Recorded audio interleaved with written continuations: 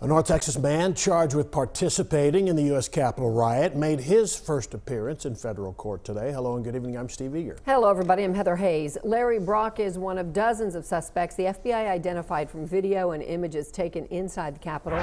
Fox 4's Alex Boyer was in court for Brock's initial appearance. Alex.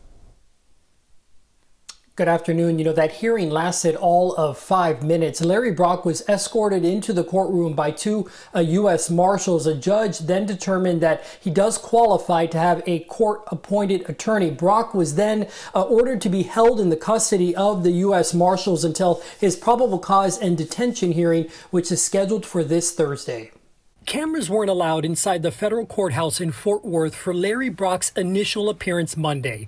But this mugshot released by the Grapevine Police Department shortly afterwards shows how Brock looked at the time of the brief hearing. His hands were cuffed in front of his black t shirt, his legs shackled around his jeans. The retired lieutenant colonel in the Air Force Reserves was identified by his ex wife as the man photographed and captured on surveillance video wearing combat gear and carrying white flex cuffs on the Senate floor during the January 6 Capitol riot. The arrest affidavit quoted Brock's ex wife, who reportedly called the FBI National Threat Operations Center, as saying in part, I just know that when I saw this was happening, I was afraid he would be there.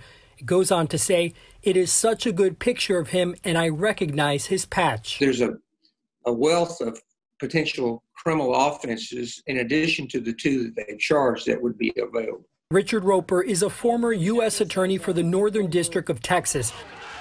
Roper says the video evidence will be key in prosecuting these types of cases. It nails down the identity of the perpetrator. According to the affidavit filed in the District of Columbia, Brock is charged with one count of knowingly entering or remaining in a restricted building or grounds without lawful authority, and one count of violent entry and disorderly conduct on Capitol grounds.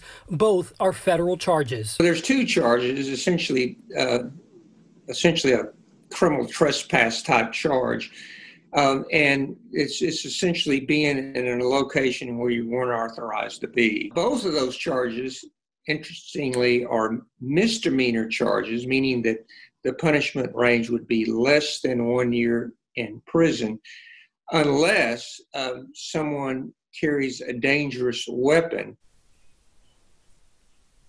and Brock's attorney did not have any comment after today's hearing, but he did tell me that after Thursday's hearing, the case will be turned over to the courts in uh, the District of Columbia since that is where the alleged crimes took place. We'll keep you posted. Back to you.